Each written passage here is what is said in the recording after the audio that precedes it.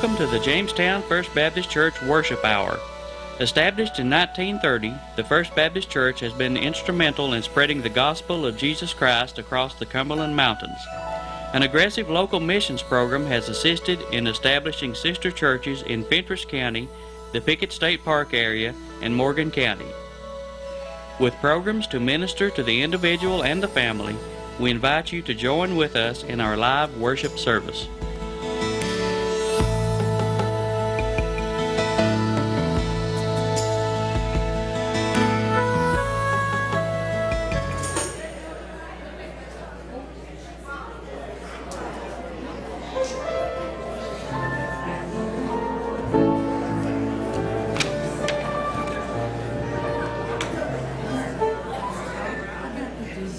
Well, good morning.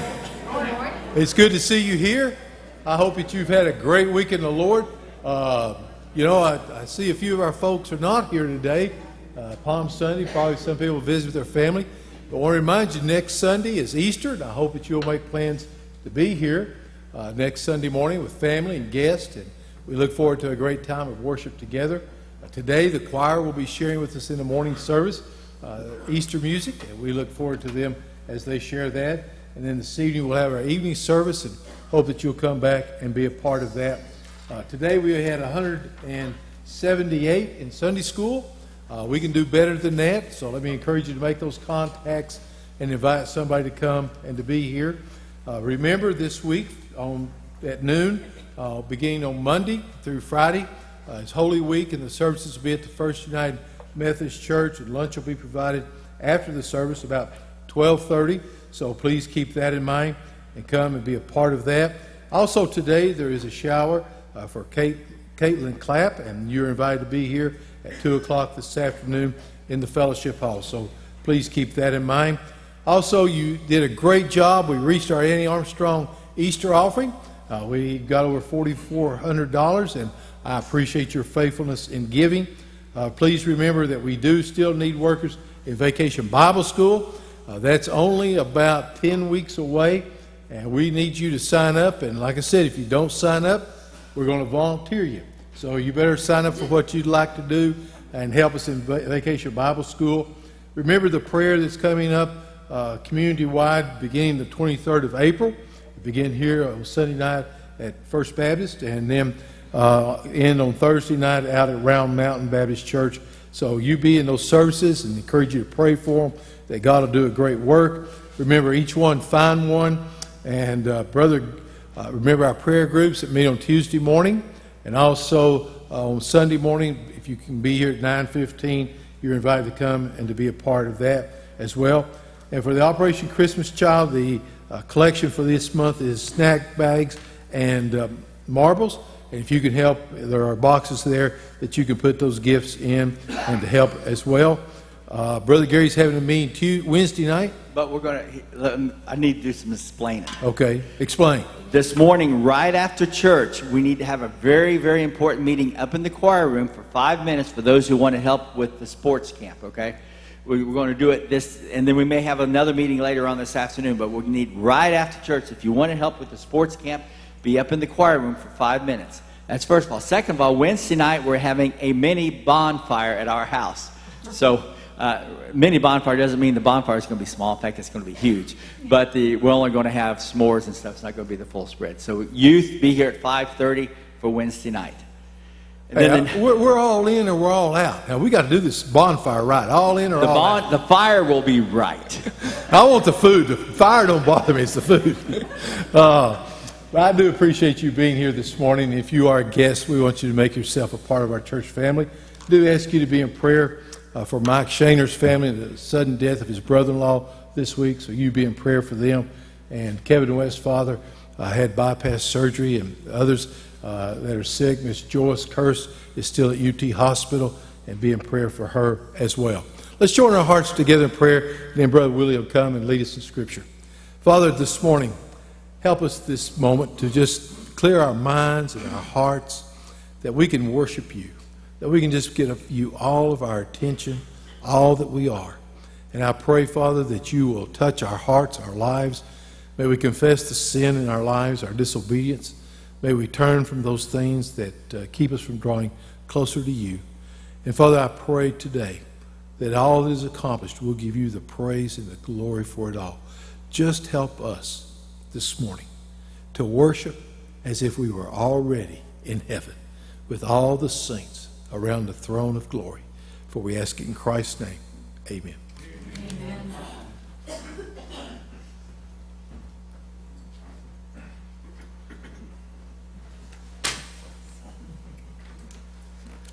Good morning. I'm going to be reading out of Matthew 27, verses 22 and 23. and Pilate asked the crowd, What shall I do then with Jesus who is called the Messiah? And they all answered, Crucify him. Why? What crime has he committed? asked Pilate. But they shouted all the louder, Crucify him. At this time, will the men come forward?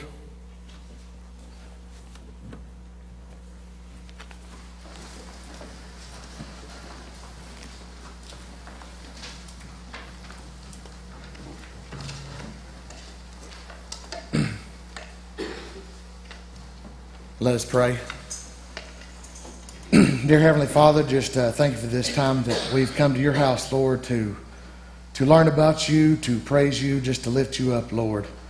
Uh, just be with all those, Lord, that not be able to make it today, that are shut in, Lord. Just lead, guide, and direct them. Put your loving arms around them, Lord. Dear Lord, just be with this offering and bless it. Just be with this choir and Brother Gary as they perform this morning.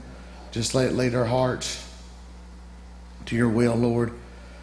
Uh, dear Lord, we just can't thank you enough, Lord, for loving us, and we love you, Lord.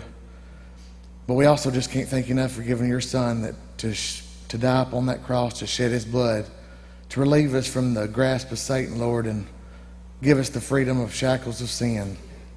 And I, pray, I pray all this in Your name. Amen.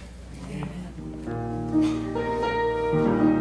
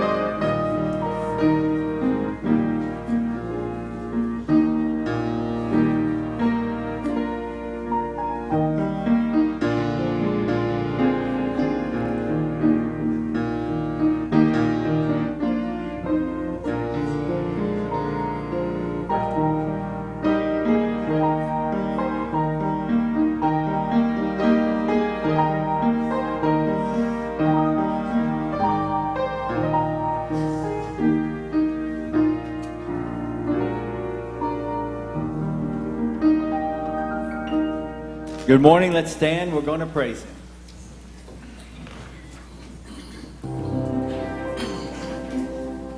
Are we ready. Sing the wondrous.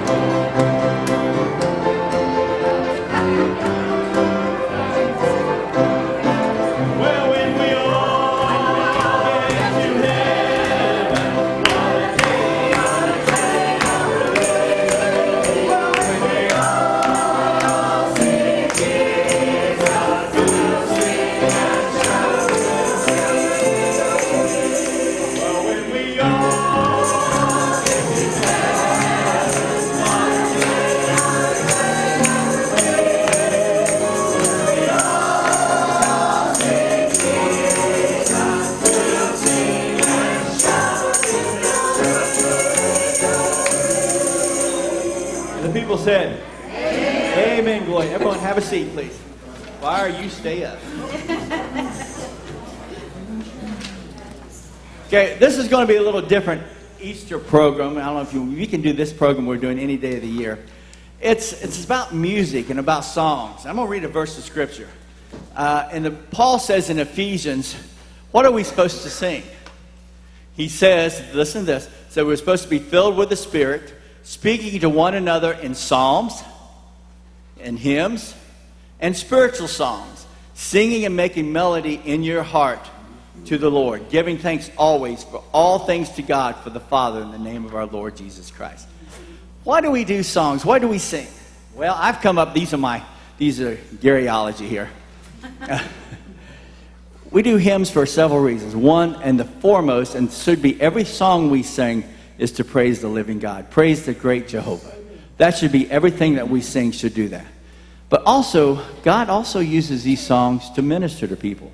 How many of you in your life have ever had a problem in your life and all of a sudden a song just kind of lifted you up that day? A song meant something special to you. Probably easier how many has not done that. But uh, songs are used to minister to people. And third of all, we're going to show some examples today that songs are used to reach people for the Lord, okay? So I have asked a few people in the congregation to give a testimony of what their favorite song is and what, or song, not necessarily the favorite, what song had been so much to them and what song has touched them. And we got some videos of that. And then after that, you know what would be going to be fitting what we're going to do? We're going to sing that song. Some of them will be sung by the choir, some of them y'all going to sing. So uh, put your seatbelts on. All right. And are we ready, Cliff? First one's Doug White, our pastor. Brother Doug, what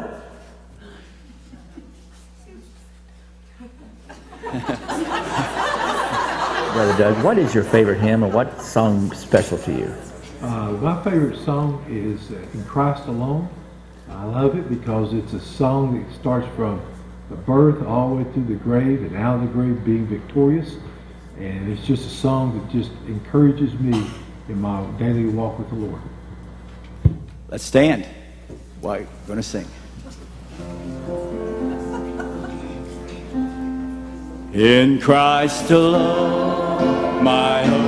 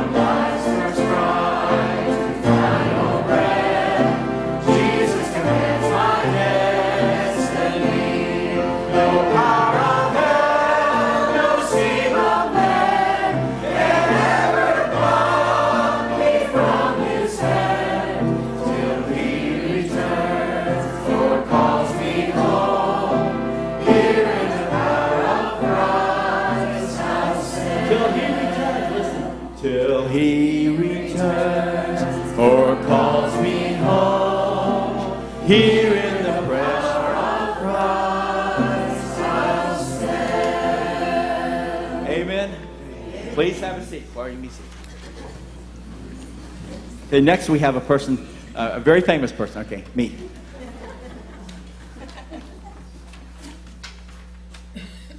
Uh, most of you know me. I'm Gary. Um, my favorite song throughout the years has always been "Jesus Loves Me." It's such a powerful song, and you know, such a great message. But I got to think about the song that really was a great influence in my life was happened when I was about 19 years old. I had just was starting to play the piano. I'd played for a couple years, and I didn't think I was that good. But a gospel quartet by the name of the Gospel Meltones from Connersville, Indiana, asked me if I would play on one of their records. And I thought, well, I'll give it a shot. And it was going to be at the Happy Goodman studio in Madisonville, Kentucky. So I uh, went there, and they had a surprise for me when we got there. They said, "Oh, by the way, we want you to put a song down on this record too called The Lighthouse. Uh, we've heard you do it before, and we want you to do it." Well, I was terrified. The Lighthouse was a great song written by um, Ronnie Hinson and Rusty Goodman had um, you know, an album became real famous. And here I was doing it at Rusty Goodman's studio. So I sat down and I was, sat down and I said, I don't think I can do this song justice. I really don't think I can do it very well. And Rusty was one of the engineers that came out and sat down by me and said, you know what? It doesn't matter how you do it. It's why you're doing it, who you're doing it for. That's the whole message. Rusty said, you know, I, the song The Lighthouse, think about it. You're going to have a lot of changes in your life. Things will be different through the years. But you can always rely on the time that you accepted Jesus. That will be something that you can cling to for your entire life, and in fact, for entire eternity. So I got to think of that light. The song The Lighthouse has been very, very special to me.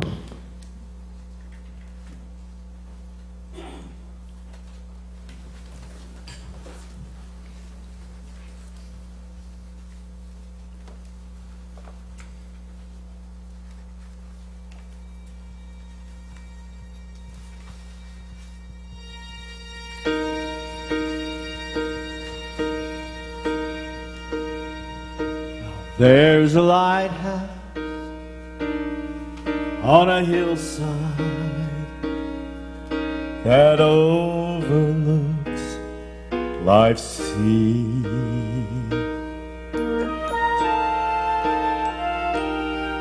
When I'm tossed, it sends that I and the light that shines in darkness will safely lead me on. If it wasn't for that lighthouse, this ship would be no more. And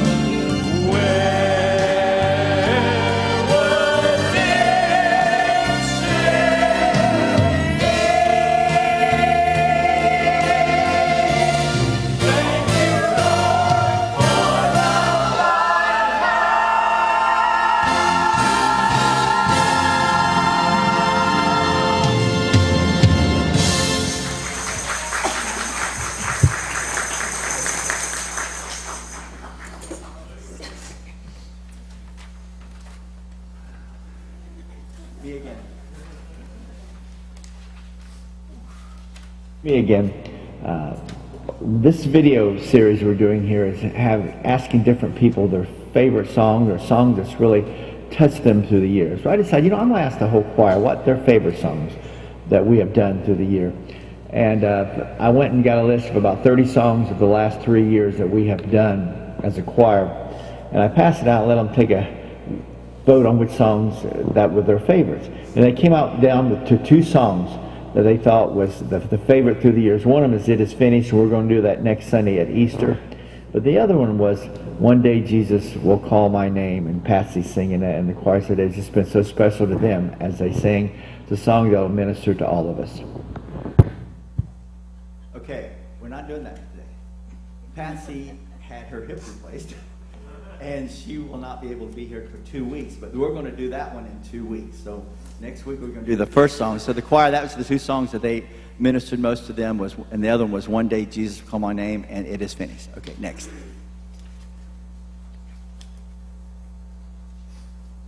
Hey, Brother Ray, what song means the most to you in life? What a what a day that will be. I believe is my favorite song.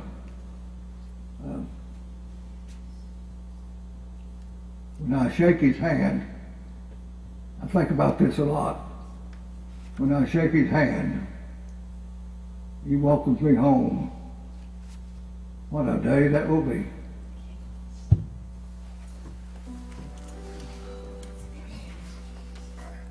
There is coming a day when no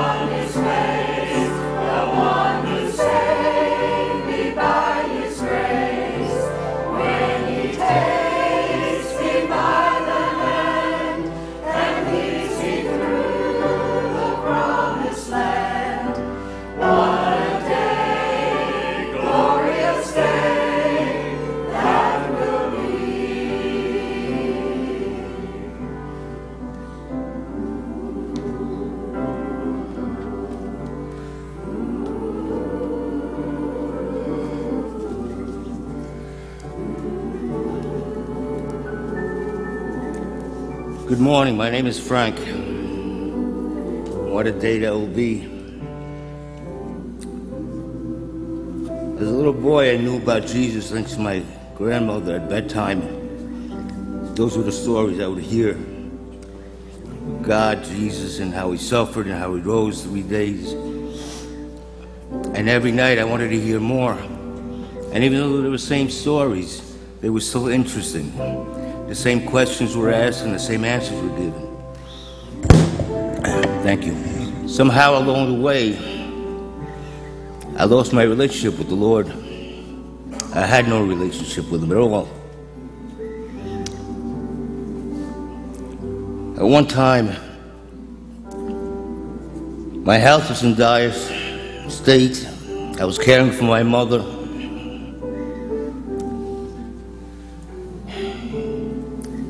Hurricane Sandy happened.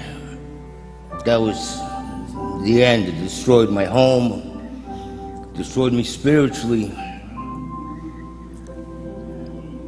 And I fell to my knees. I didn't drop to my knees, I fell to my knees. And it's the first time I, I asked the Lord to help me. I never asked anybody to help me. I was a self made man, I always took care of myself. That's why I was in the condition I was in. But when the Lord started to step in, He sent this man, Marvin, came knocking at the door. Serious man, wouldn't say a word, just looked around and saw the conditions of the house, saw my condition. So I was trying to take care of my mother at the same time. A woman that wouldn't leave the house. I don't know why, but no he. The place was a disaster. He told me in three days there would be a bunch of people coming to help. And I looked at him like, yeah, I've heard this before. You know, he doesn't have a robe and he's not working miracles. But three days later, college students showed up and still in doubt and said, I thought I was waiting for men to come and, and help rebuild my home. And I still, you know, doubting and doubting and doubting.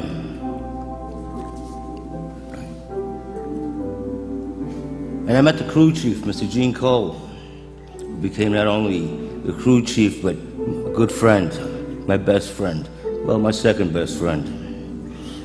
Lord Jesus and God is my first friend.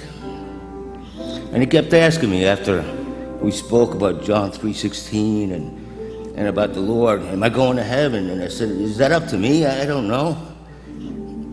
You know, if I had a choice, sure, but I don't think it's up to me. And he kept asking me this, and I just thought he was, you know, trying to sell me something. Because in New York, anytime somebody talks about God, they got your hand in your pocket, you know? And he didn't ask for anything. And these students were thanking me that they were helping me rebuild my house, and they were thanking me.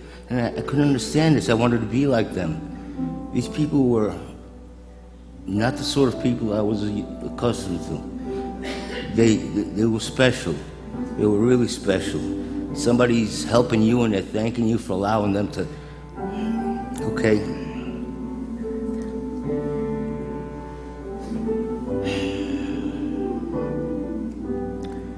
On a certain night, I don't know what happened. Something came over me. Mr. Cole and I were supposed to pick up some kitchen cabinets for my house. I told him I would meet him at the Home Depot. And I was so excited. I was there an hour ahead of time, you know. And he showed up. It was a rainy day in March. It was cold. It was miserable. And I think it was like two or three days before he was ready to leave. And he, I opened the truck door and I said, Guess what? I'm going to heaven. And I, I'll see you there. And he looked at me like, like I was trying to sell him something. And, you know, we started praying. Two men sitting in a truck on a rainy day, praying, crying, hugging. Sorry, Gene. We're crying, hugging. It was a very special day for me.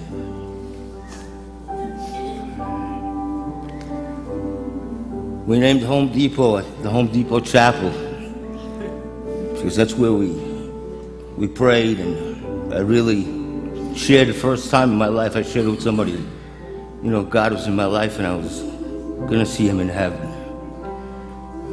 And I was looking forward to it God through the North American Mission Board brought me to accept his saving grace because I never believed that God would save anybody or did anything for anybody. But here I am, a miracle, a boy from New York here in Tennessee on Palm Sunday, speaking to y'all. Is it y'all? Did I get that right? I'm working, working on it. If that's not right, it's everyone. You know, the gift that he's given me is this family. It's such a precious gift. I love each and every one of you because each and every one of you have given me something. Even a smile, hello, good morning. That's God's love talking. And sometimes that's all you need. Especially when you walk in these doors and you feel alone and, and tired and somebody just smiles at you and says, Good morning, God bless you.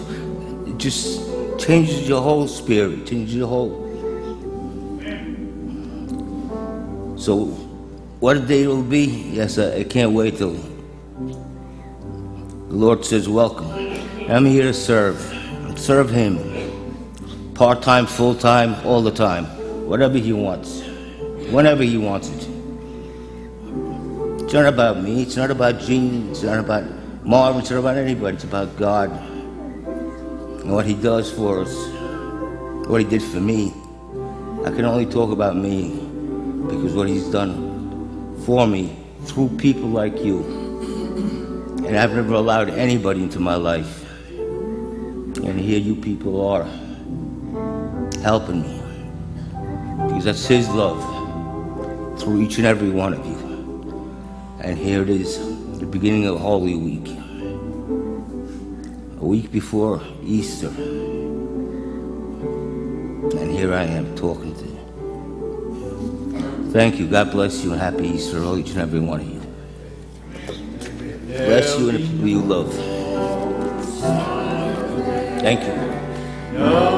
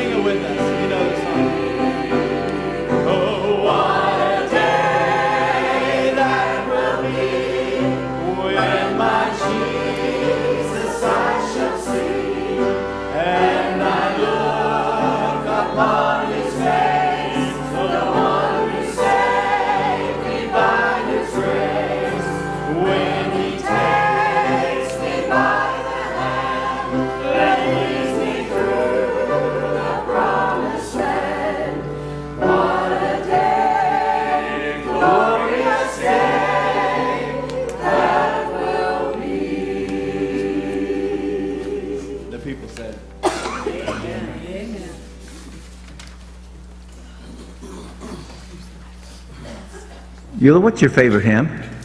I need thee every hour Why do you like that song? because uh, it, I make it my prayer when I sing it. It's the need I have. Let's all stand.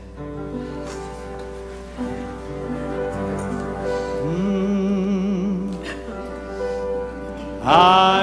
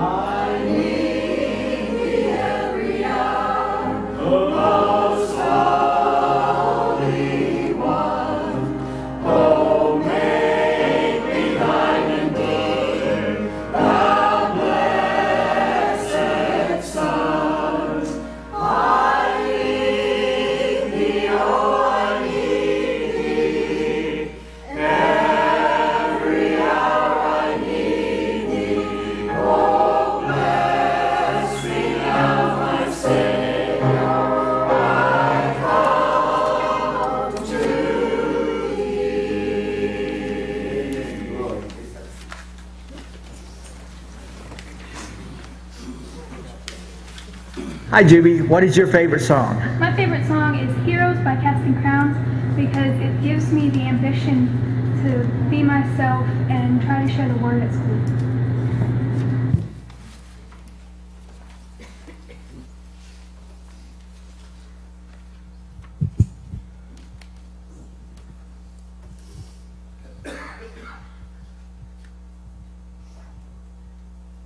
Get ready to rock.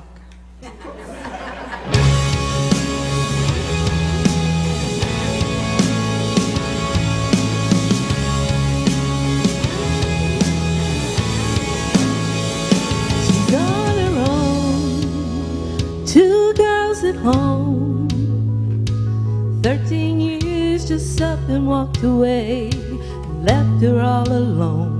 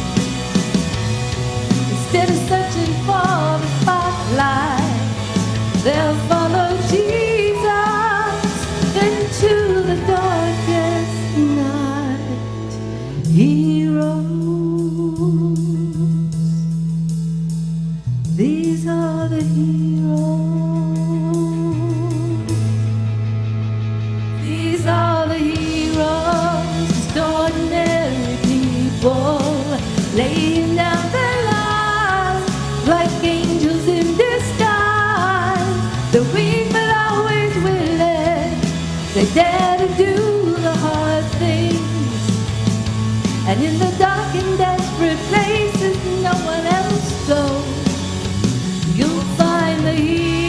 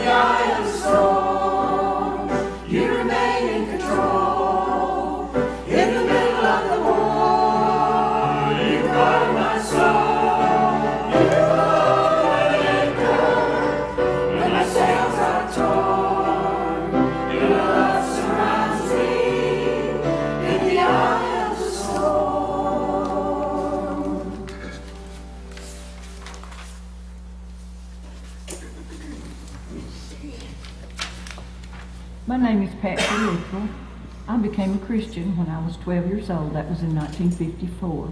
I have always loved music, and especially gospel music and, and gospel hymns. They have been a very important part of my life as long as I can remember. It would be real hard to choose one favorite song from all the songs that I grew up with, like The Old Rugged Cross, Jesus Paid It All, Just As I Am, Glory to his name. Um, and one special song when I was a little girl was sung by an old lady in the church. It was called What Would You Do with Jesus? And that song really penetrated in my heart. And I think it had a lot to do with uh, the Holy Spirit convicting me to become a Christian. However, um, in the last few years, there has been one song, The Solid Rock, that has really become special to me. This song was written by a man called Edward Mote in 1834. He, was, he lived in London with his parents, and they would not even allow him to have a Bible in, his, in their home.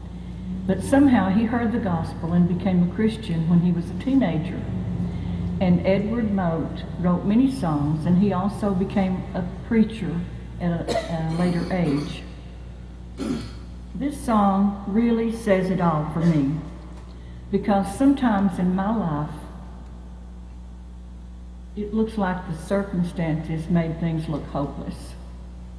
But the first verse of this song says, My hope is built on nothing less than Jesus' blood and righteousness. And sometimes in my life, it seemed like that God had just turned his back on me. I couldn't feel him, couldn't feel his presence.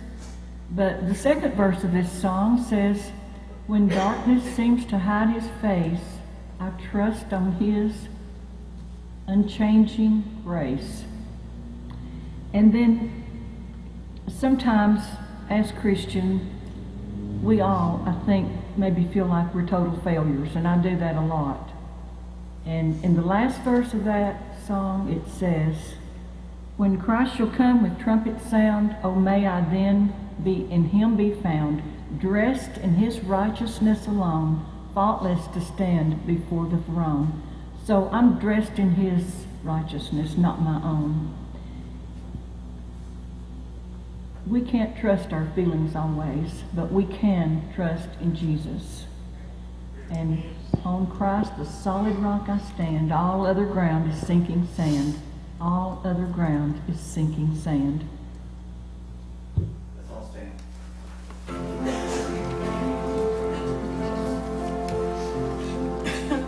My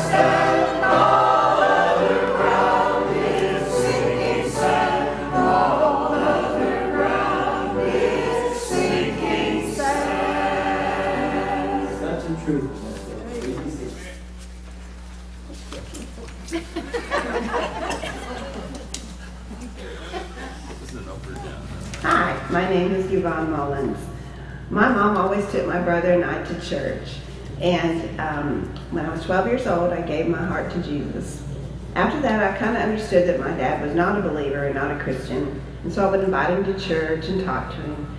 Uh, he was his most grouchiest on Sunday mornings, and he never would go. But my mom always said that if he ever heard the song Great Judgment Morning, that he would become a Christian.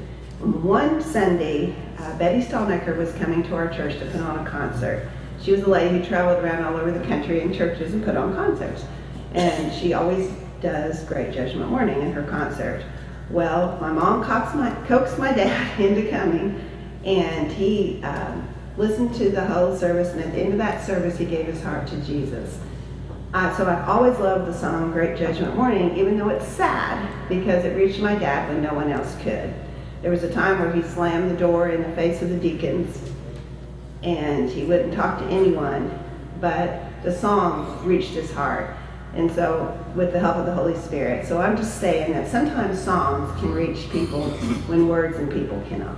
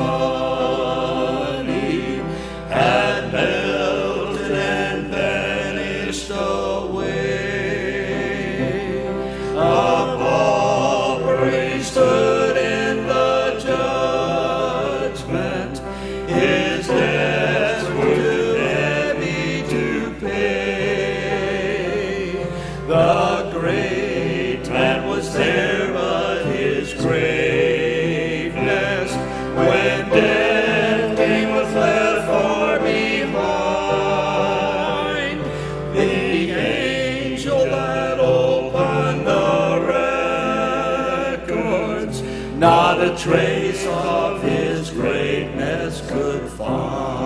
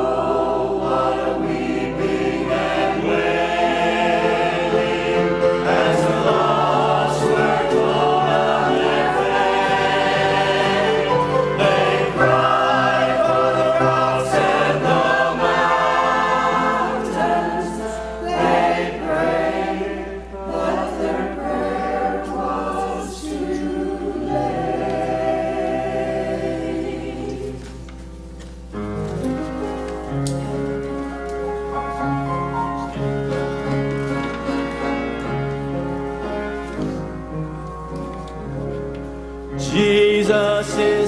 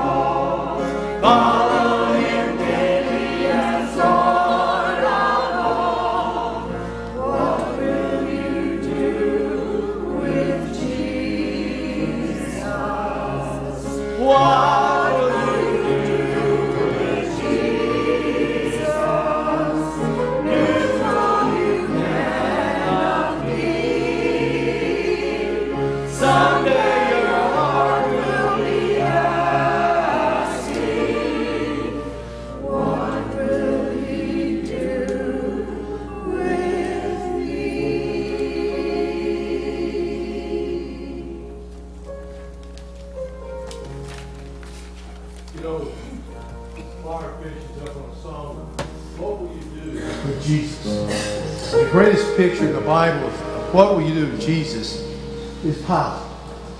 Jesus is brought to him, and he's confronted face to face with Jesus. And what is he going to do with him? Well, he tries several things. One is he's going to let him go, but the leaders won't stand for that. He was going to have him beaten. That wasn't going to work. He decided that he would pass the buck with Jesus, send him over to Herod and let Herod deal with him. He thought he could ignore Christ. But he had to make a decision. He was confronted face to face with Jesus.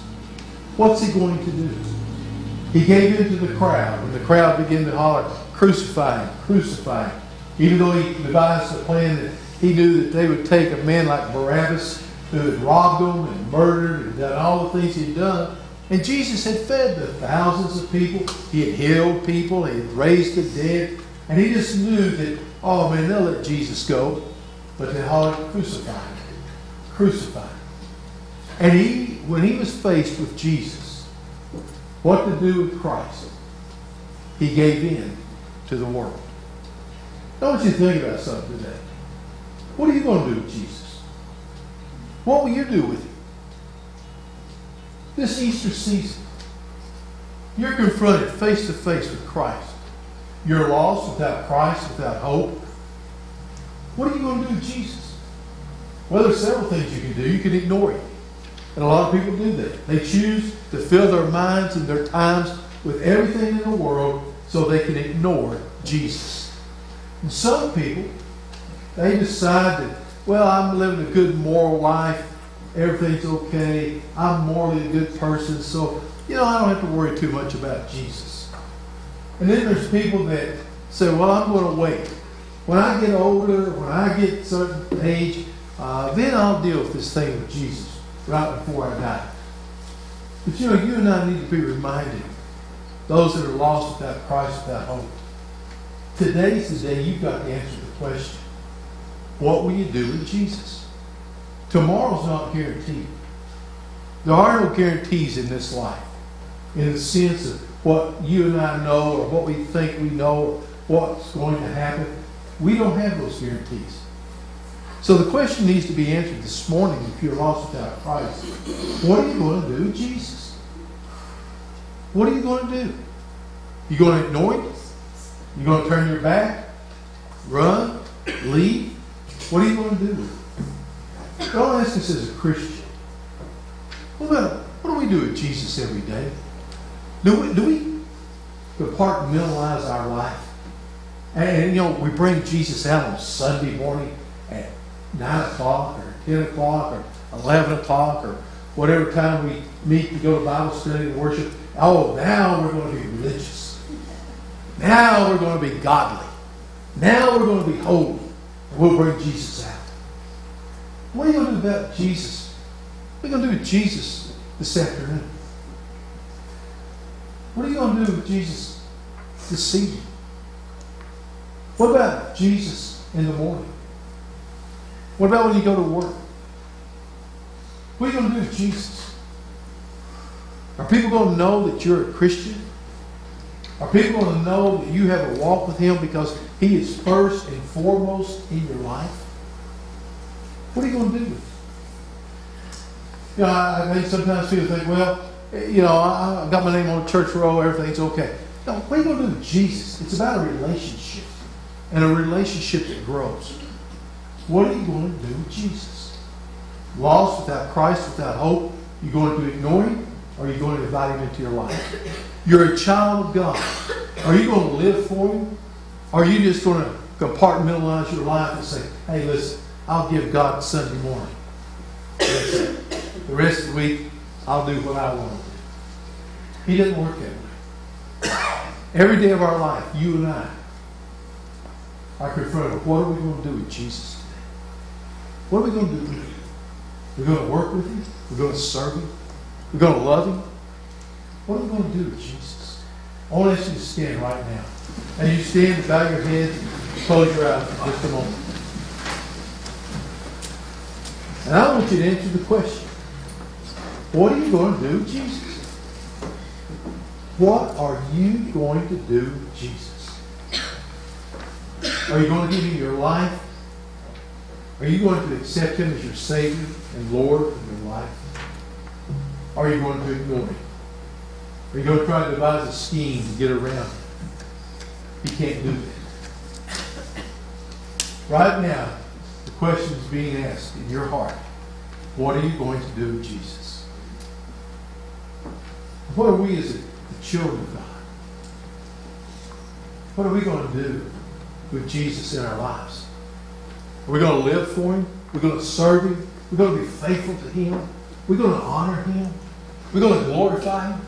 We're going to praise His wonderful name? What are we going to do? Maybe you're this morning and need to be a part of this church. Jesus wants you to be a part of this church. What are you going to do? What are you going to do with Jesus?